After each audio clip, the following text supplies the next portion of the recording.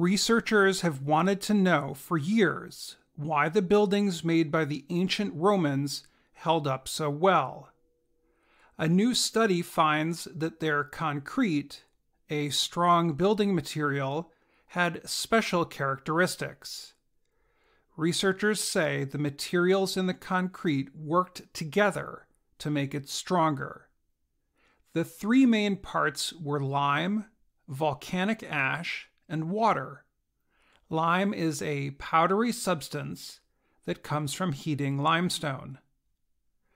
Admir Masic is a civil and environmental engineering professor at Massachusetts Institute of Technology, MIT, who led the study and published the results in Science Advances.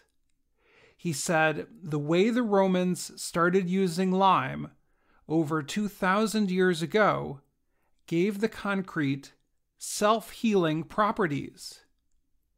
He said the discovery will help current builders improve their concrete through a Roman inspired strategy.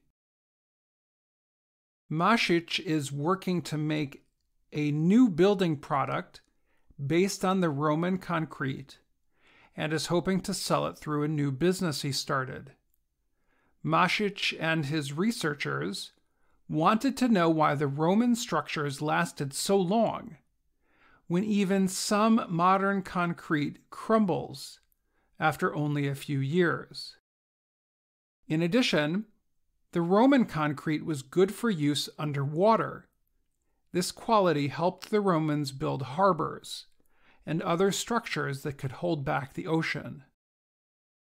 The researchers said some small bits of lime that were not well mixed into the concrete were not a mistake, as was thought earlier. The pieces of lime are called clasts. The new study called the clasts instrumental. Masic said the small pieces of lime keep the concrete from falling apart when it cracks.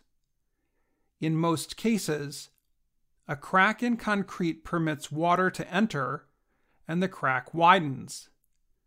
But in the Roman concrete, the small bits of lime would dissolve and send small pieces of calcium into the cracks.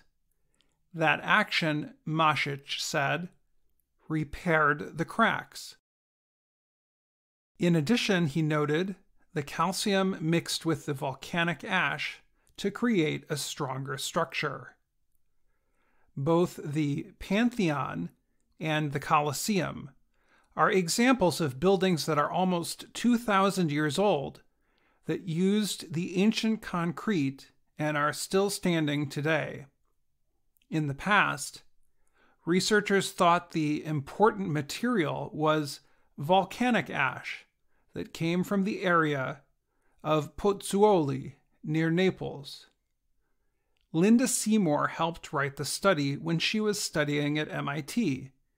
She called the ancient Romans great engineers. She added, The fact that we can still walk around many of their structures is a testament to that. I'm Dan Friedell.